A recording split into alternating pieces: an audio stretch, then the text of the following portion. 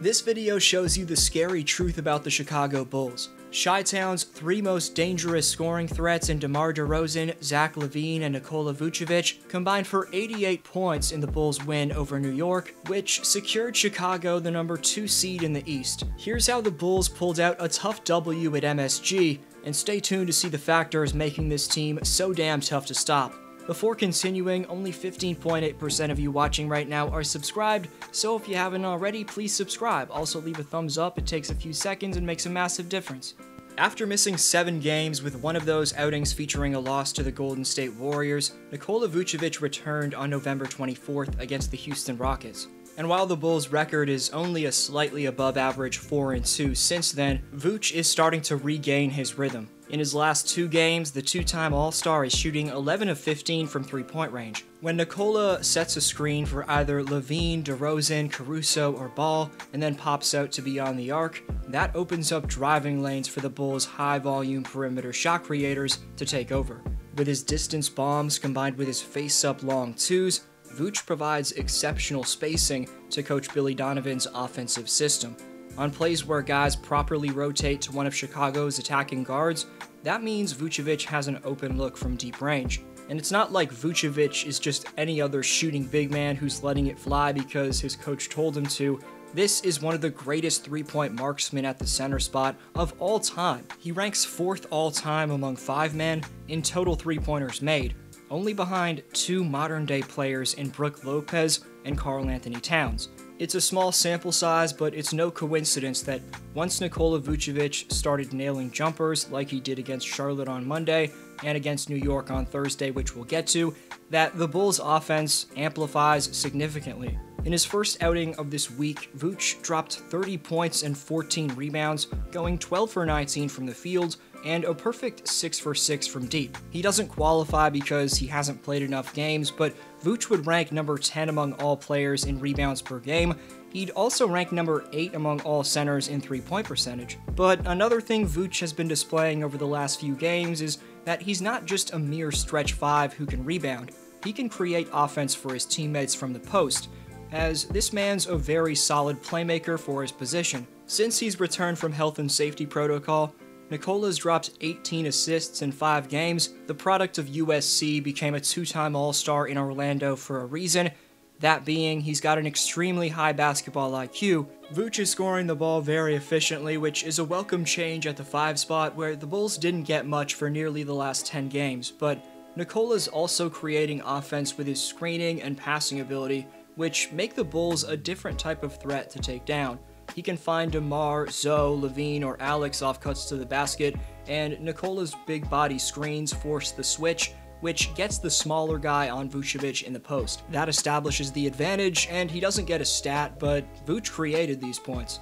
Coming off his best performance of the season against Charlotte, Nikola didn't waste any time getting to work against New York. He took Chicago's first three shots of the night and dropped their first seven points, putting up 13 points in nine first quarter minutes. Vucevic made five of his seven field goal attempts, swishing a three pointer, finishing two putback tip ins, and hammering home this slam.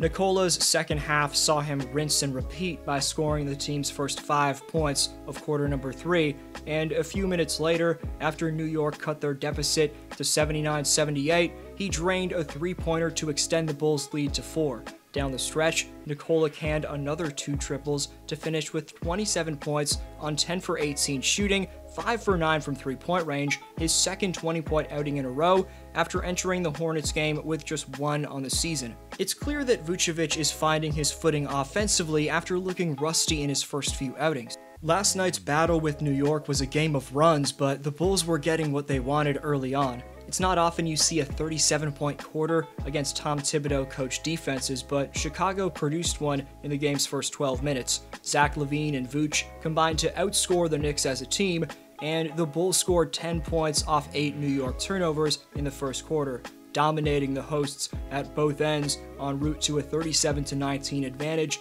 entering quarter number 2.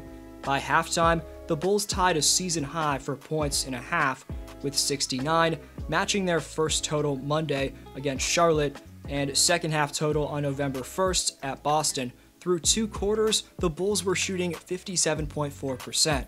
The Knicks dialed up their ball pressure and started the second half on a 27 10 run, eventually winning the quarter 32 20 and holding the Bulls to 34.8% shooting while going 6 for 10 from three point range.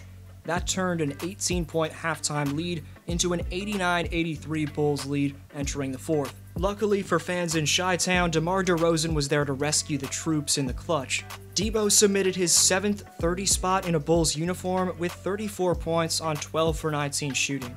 18 of those points came in the final frame, including the Bulls' first 10 points of the fourth quarter.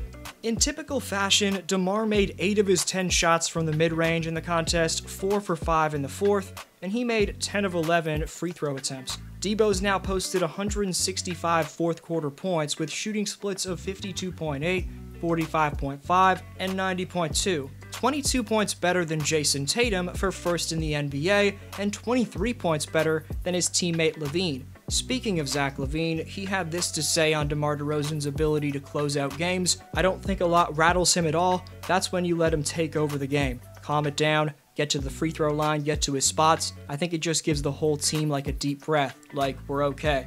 While it was mostly DeRozan, give credit to the Bulls' big three as a whole, who were instrumental in securing the W in the Big Apple. Between DeRozan's 18 fourth quarter points, Vucevic's two threes, and a massive step back and four free throws from LaVine. miraculously, those three combined to score all 30 of the Bulls' fourth quarter points. Chicago was outscored 32 to 30 in that fourth quarter, but this game was just another example of the completely different and much better late game execution compared to last season when clutch scenarios often dumbfounded them. After the Knicks pulled ahead 108 107 on a Randle floater with 3 minutes and 18 seconds left, the Bulls won the stretch run 10 6 behind multiple key stops, two trips to the free throw line, a difficult step back from LaVine, and a driving lay in and free throws from DeMar. Alex Caruso went off in the minutes he was given in the only way he knows how, by laying every bit of effort on the line and doing it all. In his first stint, Caruso drew multiple offensive fouls, including one on a moving screen that led to a Taj Gibson outburst and early ejection. He also handed out three dimes, swiped a steal, and scored four points, including this thunderous alley oop finish on the fast break. AC added another forced turnover and two assists early in the second before ending his first stint at 9 minutes. Then Lonzo Ball, picking up his third foul seconds later, forced Caruso to check right back in, and he continued to make an impact. In the fourth, the bald Mamba came up massive multiple times yet again. He swiped three steals, two of which immediately made up for turnovers of his own, and with the game tied at 111, the third strip of Julius Randle with 56 seconds left was the most clutch. LaVine and DeRozan rattled off six straight points after that takeaway to put the Knicks to sleep. In 31 minutes, Caruso stuffed the stat sheet, posting 6 points, 6 assists, 6 rebounds, 4 steals, and he was a game high plus 21 in a 4 point victory.